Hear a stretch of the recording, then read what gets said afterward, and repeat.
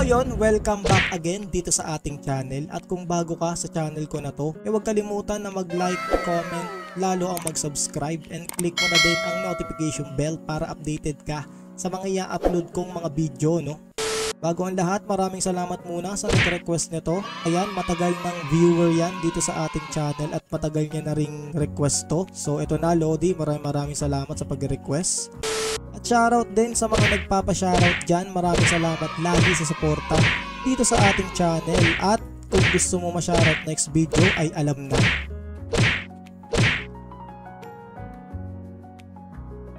So welcome dito sa Tantra Enthusiast. 600 MB plus ang kanyang installer. So mababa lang. So ano nga ba ang Tantra Online sa mga di nakakaalam dyan? So ang Tantra Online is a simple, fast-paced 3D MMORPG set in an oriental fantasy world and environment with 8 playable tribes and a PvP focused gameplay. Sa tingin ko marami sa inyo makaka-relate dito lalo yung mga gamers natin dyan nung early 20s. Sa ganitong graphics pa lang masaya na tayo no? Noon no? So nasa description ng kanilang FB page pati ang site nila kung saan kayo mag-register para makapag-login sa laro. So tara na sa World of Tantra Online. Let's go! At andito na nga tayo sa lobby ng Tantra Enthusiast. So bago ang lahat, syempre mag-login muna tayo no. Okay natin. Meron silang isang server, ang Enthusiast server. So okay natin. At ito ang kanilang 8 playable character. So isang Naga, isang Asura, isang Yaksa, isang Deva, isang Kimnara, isang Rakhasa, ayan, Gandharva, at Garuda. So hanggang Garuda lang no. So ang tanong anong character natin dito kahit wala pa akong gaanong idea sa ibang character dito. Hindi, wow. So, syempre tatry ko ang parang gusto ko mag ano. Mag Garuda. Garuda tribes has less physical ability than the others but has the strongest magical power. So, try nga natin to Babae, no? So, meron din sila ditong face selection tsaka hair type. So, ang face selection nila, ito ang phase 1, phase 2, phase 3, phase 4, tsaka phase 5. Sa hair type naman, ayan, head 1, head 2, head 3, head 4, head 5. So para maganda yung head 4, ito head 4. So input name, lagay natin you can, ayan. So okay na ba natin? So distribute all spirit points. So try natin lagyan lahat to, no? Kasi wala pa akong idea dito. So try natin lagyan lahat. Siguro mental lang ano natin. Dagdag natin tong 3. Mental nagawa nga ng magic power siya. Di ko sure. So okay natin. So, meron ditong create character, select character, tsaka exit game. So, click natin tong ating character. Yun. So, character information. Ayan, you can. Location, Mandara area. So, tara na. At nandito na tayo sa Mandara Village. So, yan. So, syempre, bago ang lahat, tutorial muna tayo. No? Learn character movement. Click lang daw, left click. So, sunod, how to change view. Ayan, right click. Ayan, ikot-ikot ko lang yan how to use minimap. So, M daw para sa map button. So, yon And then, pag naklik nyo pa ng isa, is lalaki siya. Yun. So, learn shortcut key explanation. So, I naman is inventory. O, use weapon. So, i-double click natin to. So, ito pa yung iba niyang pipindutin, no? Katulad na inventory ay quest, Q, ayaw ng Q, skill, K, and skill tab. So, O, option. Yan. So, C, command keys. You can activate PK mode by clicking this icon. Approve! So dito na tayo sa Learn Hunting Monster. So try natin pumatay down ng isang Vasa Boom. What? Tara tara, let's go. So ang gamit niya is parang ano, no, kunay. Ayan, di pa nagkakamali kunay. Tara try natin. So i-click nyo lang. And then mag-auto attack na siya. Double click no. Para sa auto attack.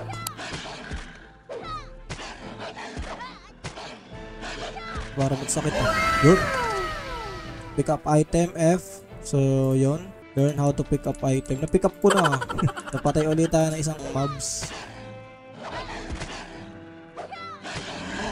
So, pick up F. Ending tutorial. So, magpapa level 30 tayo para sa God daw, no? So, start beginner's quest. Okay.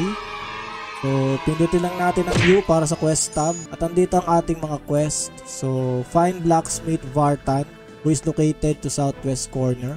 So, ayan, dito sa left side natin is nandito ang skill tab. Nandito naman ang window tab para sa chat. Nasa right side naman sa baba is nandito yan. Mga pipindutin, no? So, purchase premium item. Ayan, character info L. Inventory I. Okay. Quest U. Skill K. So, ito yung skill natin. Option O, tsaka command. So, sa map naman is double click para lumaki. Ayan, meron ditong north, west, east, tsaka south. So, yan lang ang ano nyo pag sa quest, no? Yan lang ang susundan nyo. And then, meron din ditong finding NPC. So, kung may quest kayo na hindi nyo alam kung nasaan, so, hanapin nyo lang. Halimbawa dito kay Blacksmith Vartan, hanapin natin.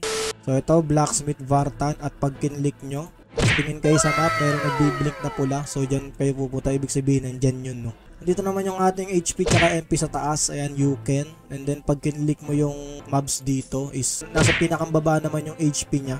So, tara na muna kay, ano, kay Blacksmith Vartan. Meanwhile, So, dito na tayo kay Blacksmith Vartan. Tignan natin. Click natin to. So, collect items and sell. I need 3 small horns and I'll give a higher price. Quest natin. So, yung uli, you. Papatay tayo ng Vasa Booms at kailangan natin ng tatlong small horns. So, tara. At dahil private server to, syempre hindi nawawala ang mga free items. So, punta tayo dito kay starter items level 1 to 59. Ayan, so click natin. Buy and sell items. So, ayan, nakikita nyo meron dito. Starter charm, starter kit, pranas 30% increase, no? So, 1 rupias lang. So, ang pera natin is 10 rupias. Try natin bumili ng isa. So, nakabili tayo. And then, ano to? Starter earring. Siyempre, bilhin din natin yan. And then, uh, starter bracelet. So, accessories, no? Ring. Kuha tayo ng dalawa. Yan. So, sa weapon naman is, eto, Deriva Garuda exclusive level 1 needed. So, ito lang ang pwede sa atin na weapon. Weapon ba to? So, bilhin natin isa. So, meron pa ditong isa pa, Dato Matruka. One staff. Ano to? Ito, shield bilhin natin. Ito, bilhin natin tong Dato Matruka na to. Ano ba to? Okay. So, yung iba may level na, ano, katulad na ito, level 80 bago mabili. Level 92. Ito naman level 96. So, wala siyang set dito, no, na pang newbies. So, try nating equip to. Double click, double click, double click, double click. Ito din, starter earring, starter charm. Anong weapon to? Hindi pwede. Hindi pwede. Hindi nga. So, ito. Shield yan. Tsaka itong Datu Kona. So, na-equip natin tong ano, itong weapon na Datu Matruka. Tingnan nga natin. Ano yung bilog, no? So, tara sa quest, tara. a few moments later. So, padala na natin ang ating quest dito kay Blacksmith Vartan. Okay, finish. So, ang reward niya is 10 pieces Dahara Amritas, 200 rupias, at saka 1 piece Sorry gloves. So, iba mga tawag dito, no? Sa item. So, meron tayong Chori gloves. So, double click natin para ma ayan, ma-equip. So, tignan uli natin ang quest. U. So, go to defense up bus who is found near the south entrance of Mandara Village. So, ano papatayin natin? After leveling up, so pa-level tayo. So, na, kung nakikita nyo itong green sa baba, itong mahabang green, yung experience niya. So, nakikita nyo, malapit tayo lumevel. So, dahil malakas ang ating weapon, one hit lang natin to. Boom! So, level. So, tara na dun. Okay, defense up bus. Ayan. Tara, tara. Let's go. Ayun. Merong 50 pranas, chori shoes, tsaka 10 pieces dahara amritas. Ano ba yung dahara amritas?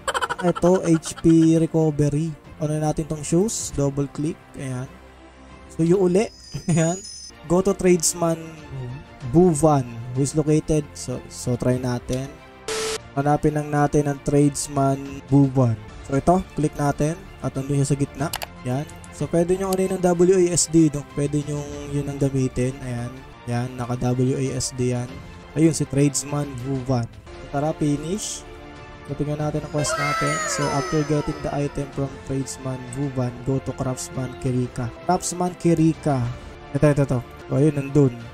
So, ito, nasa taas pala tong si craftsman Kirika. So, tara, balik na tayo kay tradesman Vuvan. Tara, let's go.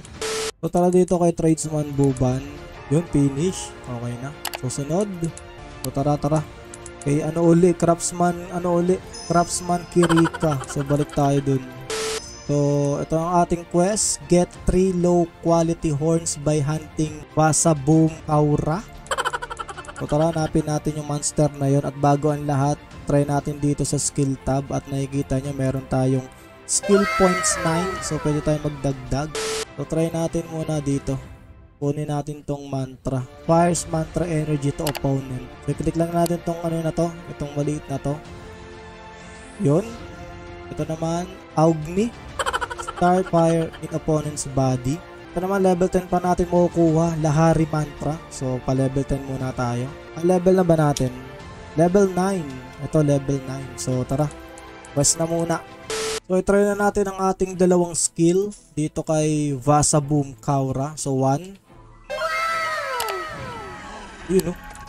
One hit, eh, no? So, ito naman 2.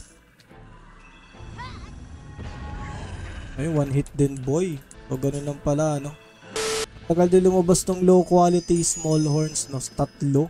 So, level 10 na pala tayo. Try nating i-add, mag-add ng skill. So, ano to? Automatic? Tanga! Hindi pala pwede palang kuhanin, no? Kuhanin. Tsaka tong isa. Ito, level 12 pa pala. So, ano to? Try natin tong 3. Ito, 3. Ayun, no? Yun. Galing. So, ilan na bang ating quest? So, isa pa. Yun. So, padala na natin. Natapos na. Padala natin kay Priest Bananta. What? Ito, Priest Bananta. So, nandun sa temple. So, mahaba-haba to. So, tara. So, andito pala si Priest Bananta. So, try natin. Uh, give low quality horn. Okay. So, binigyan nata tayo ng ano, pots, no? Tsaka headband. Ay, headband na tayo. So, anong sunod na quest natin? Return to Craftsman Kirika. So, meron din mga players dito na nagbebentahan, no? Katulad nito. Fail 6B, rupees, 300 Gcash. So, yun. Mga players din dito, boy. Marami-rami din to. Kaya sa pagkakaalam ko, matagal na tong server na to, no? Siguro ilang taon na. Hindi ko lang sure. So, tignan nyo na lang. Ayan. Tanga! So, padala na natin. Quest quest lang. 500 rupias tsaka chori pants. So, okay. May pants na tayo. Sunod na quest. Go to Defense General up Vas. So, tara. So, yun. Meron na tayong quest sa first job change. So, afterwards, go to Priest Vananta who is found at the temple. So, galing na ako dun. Na pinapabalik-balik lang tayo dito. Malayo pa naman. Pero okay lang yan. So, punta tayo kay Priest Vananta. So tara na, let's go. So you were the one Abpas was talking about. You want to be guard of Pandara Village. I have to test your skill before that. So yes, I'll do it. So itong papatay natin. So i-quest muna natin lahat dyan and then balik na lang, no? Let's go! Meanwhile, So level 12 na tayo. So kunin na natin yung isang skill. Ito, Augni Guna. Yan. Increase fire defense rate in own body. Ah, ano pala to passive, no? Tanga! Passive ba? Ah, hindi. Pwedeng i-skill. So, susunod nating skill ay level 20. So, try natin tong 4. Ah, buffs no. Buffs. So, ayos. Buffs siya. So, tara, let's go. Mukhang mahabang quest to boy ah. Daming papatayin. So, ito, bago ko makalimutan, no. So, dito tayo sa, ito. Character information. So, dito sa chakra. Chakra. What? So, points left natin is 55. So di ko alam kung dadagdagan dito. Pero parang mas mataas ang heart tsaka mental niya. What? So try natin dagdagan. Ayun. So muscle and nerve, try din natin ipa 50. So i-balance lang natin dahil di ko naman alam ang mga ano dito. Mga build build dito. later. So ayan, mas mataas ang ating heart tsaka mental, no? So tara, let's go. Hanapin natin yung monster na Vasaboom Kalapras. Asan ba yun? Hindi ko kabisado dito eh. Ito Kaura, Basa Boom. So, nandito lang yun. Or baka nasa taas. Yun, nandito nga. Sabi ko na boy eh. Nandito lang kayo. One hit to, babala ka sa weapon natin. So dito kung gusto niyo naman na lumevel kagad is pwede naman din kayong hindi mag-quest pero sa tingin ko required ang quest dito no. Itong kine-quest natin is a first job change pa din. So So natapos ng ating quest. Ah, balik na tayo kay Priest Bananta pero mapagpa-level muna saglit. So level ano tayo 17. Bala ka sa XP no, try natin. Yun wala ka sa XP ko nakikita niyo kulay green sa baba ito. Sa XP dito boy. Uy, Try ulit natin mag-bops. Saka natin hatawin. Alright. Alright. So, mas malakas sa XP dito kay Sarah Birka. Yan. Hirap ng pangalan eh. No? Ano, inapas-ampas lang natin boy. Pag in-skillan, ilang hit? One hit no? Kala ko kasi hindi one hit eh. Itong, ito number 2. One hit nga. Lakas ang skill natin boy. Itong 3. One hit. Level na natin, 22. Ganun lang kabilis, boy. So tara ko ulitan ng skill. Itong Anira Hati. Sword Wind surrounds opponent for a while. Then, itong Augni Tomara. Release Fire Base Spear. Try natin. Lagay natin sa 5 tsaka sa 6. So tara, try natin tong 5. Yun. May spear nga na lumalabas, no? Ito naman 6. Yun, no? May umikot sa kanya, no? Yun. Galing. Dami na nating skill, boy. So, ito pala muscle is attack. Ito namang nerve sa defense o sa accuracy. And then heart sa HP. Ayan. And then mental sa TP. Ayan. So, lagyan din natin to para lumakas ang ating attack. Ayan. Nagiging 393. Naging 394. Sunod nating skill ay level 30. So hanggang level 50 lang, wala nang ibang skill. So, pwede ba natin kunin tong ibang skill dito? Try nga natin dito, kunin natin to. Fires Ice Arrow to opponent. Okay, tingnan natin to. Ito naman, increase ice defense rate in body. Okay. Throws lightning an opponent. Okay. Dami nating skill boy. So, try nga natin tong 7. Yun. And then itong 8.